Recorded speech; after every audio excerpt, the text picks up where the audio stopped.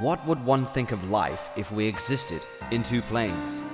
A vast universe created and pondered by creators of time, trapped in an eternal bubble that sets course to shrink within all we knew.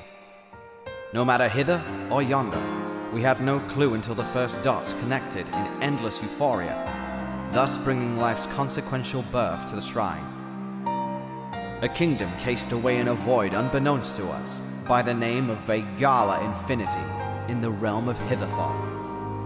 It was said to have created worlds beyond stars, life that had lived many times over, harnessing their studies inside the most powerful archive of knowledge, what we'd come to know as the Iris, knower of all pasts, presents, and futures, the ultimate vessel of all encompassing intelligence.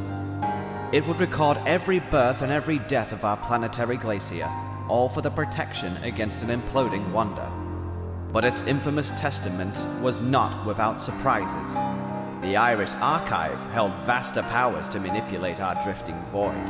It was also what kept who and whatever possessed it out of the Yonder. That Yonder being a realm devoid of hitherfall, known as Yondrathal.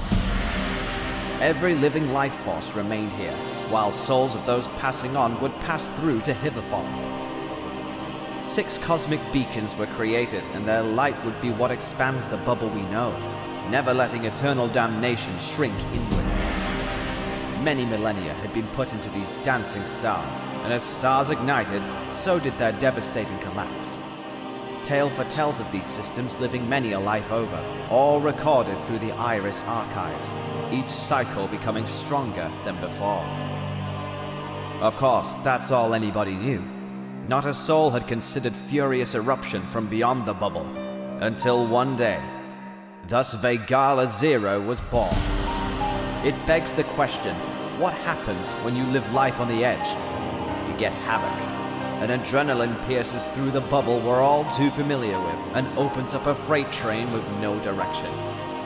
Two planes hanging in balance, one that only the crazier than fiction can muster.